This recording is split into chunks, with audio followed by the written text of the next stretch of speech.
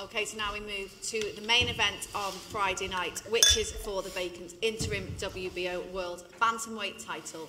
And it is between Jonas Sultan and his translator on my left and Paul Butler.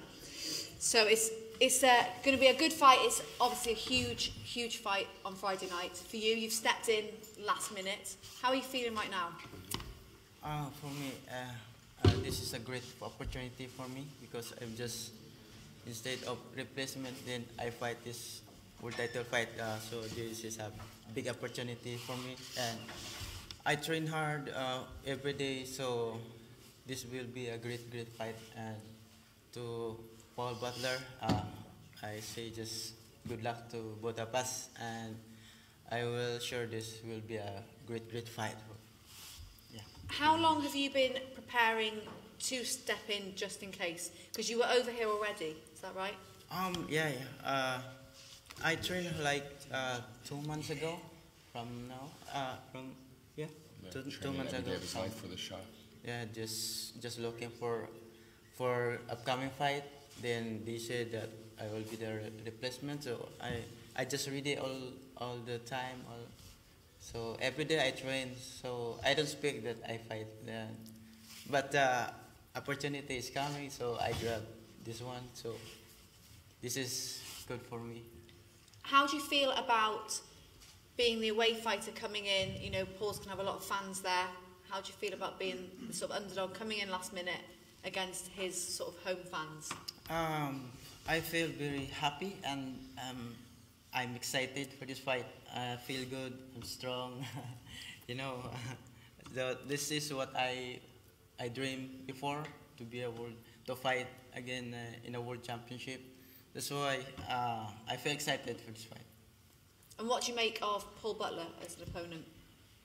Hmm? What do you make of Paul Butler as a, as a fighter? He's a good fighter, and I know he's good. Then I saw him fight. Then uh, I learned.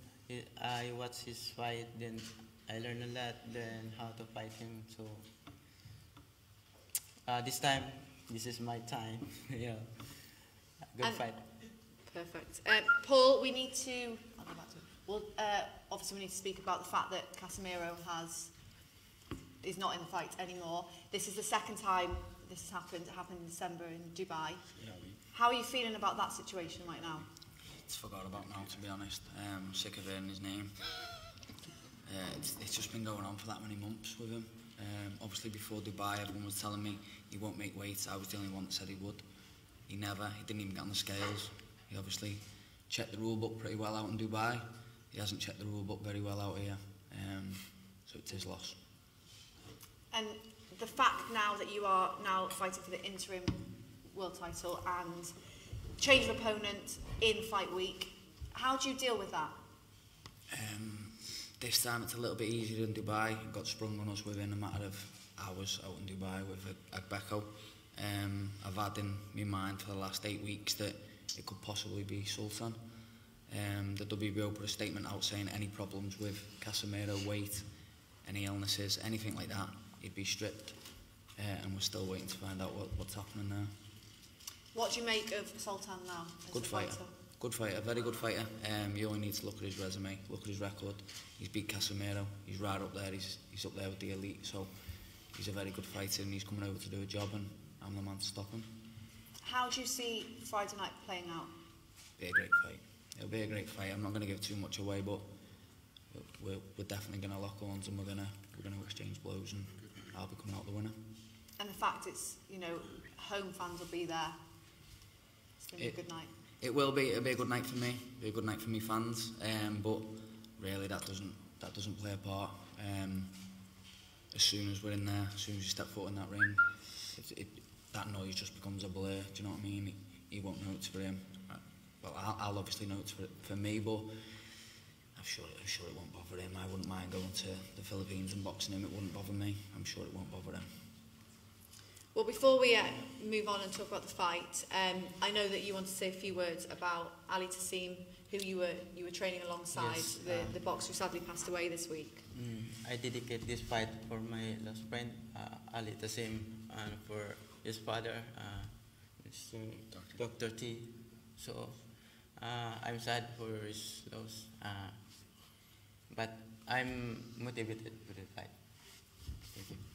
So we were with him Friday. We were training with him in Birmingham. We were with the kid all leading up to the day he passed, and he'll be with us in spirit uh, Friday night. We'll bring that belt back to him, back to Birmingham.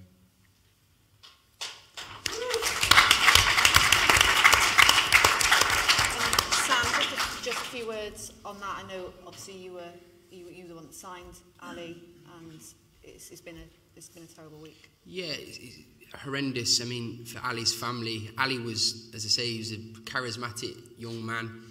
He was 100% going to make it to the top of the sport. Special, special talent. I know his dad very well, and I know his uh, his dad was um, in the gym with Jonas as well. Um, and just watching it all unfold was was truly heartbreaking. As even more so, unimaginable pain for his family.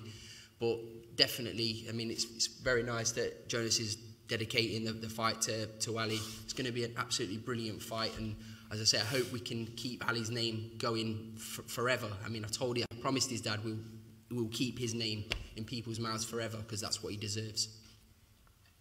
Exactly.